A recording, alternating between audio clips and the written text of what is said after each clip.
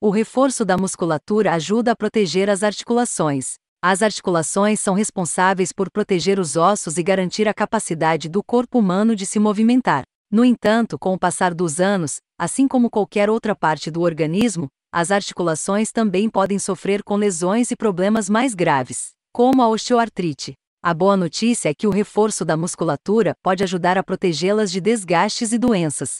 Reforço da musculatura previne lesões articulares. As articulações estão localizadas nas junções entre dois ou mais ossos.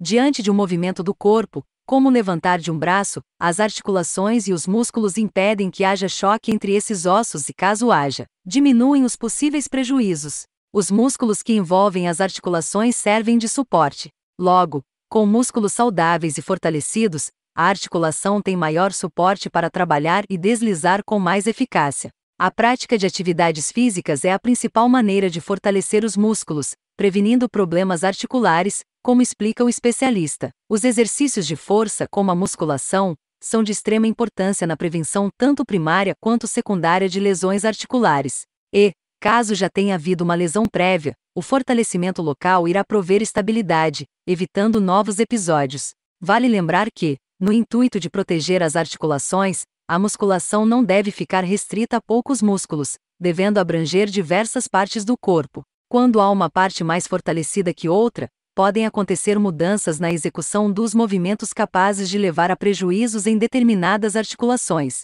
Um reforço somente no ombro direito, por exemplo, pode atrapalhar os braços, caso estes não sejam trabalhados corretamente. Durante a prática, é importante estar acompanhado de um profissional para evitar lesões.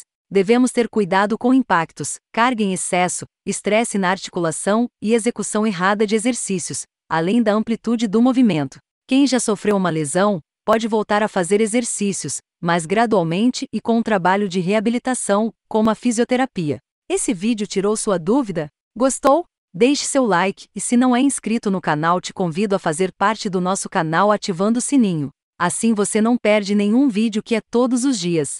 Não esqueça de comentar porque a Renata lê todos os comentários e respondendo alguns e breve, ela volta com as lives. Nossas redes sociais está abaixo do vídeo, principalmente nosso grupo do WhatsApp. Fiquem todos com Deus, muita luz, esperança e fé sempre. Até o próximo vídeo do canal Artrite Reumatoide Muito Além das Juntas.